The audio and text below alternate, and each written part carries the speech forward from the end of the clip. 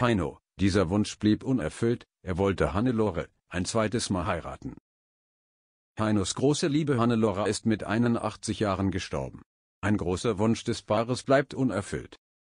Heino wollte seine Hannelore ein zweites Mal heiraten. Heino, 84, hat in seiner dritten Ehefrau Hannelore 81 sein großes Glück gefunden.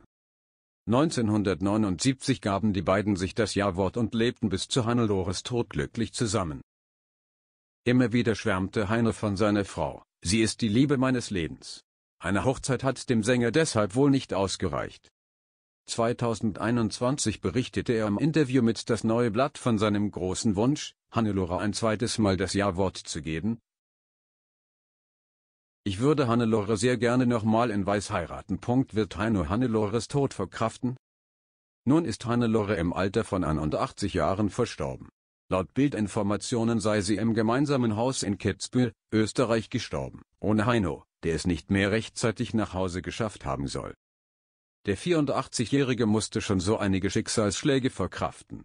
So hat sich vor mehreren Jahren seine Tochter Petra das Leben genommen.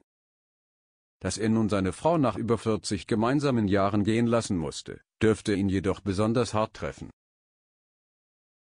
Zuvor erklärte ein Insider bereits Doppelpunkt Punkt natürlich haben sie beide für einen Todesfall alles geregelt. Aber Heino hat den Gedanken immer verdrängt, dass Hannelore nicht mehr in seinem Leben sein könnte. Es wird irre schwer für ihn werden, damit zurechtzukommen. Ich und viele andere sind in großer Sorge. Wir wünschen Heine und allen anderen Hinterbliebenen viel Kraft in dieser schweren Zeit.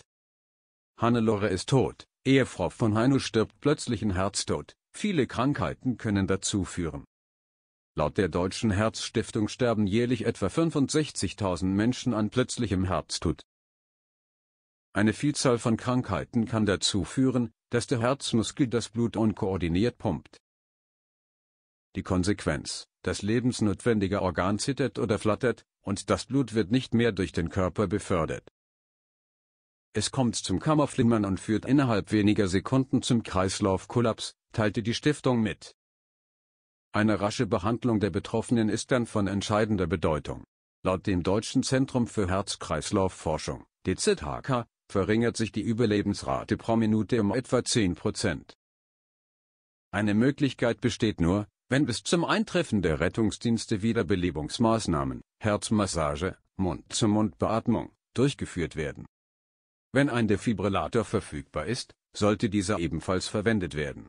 Diese Geräte geben elektrische Impuls ab, die das Herz wieder in seinen normalen Rhythmus zurückbringen können, betonte das Forschungszentrum.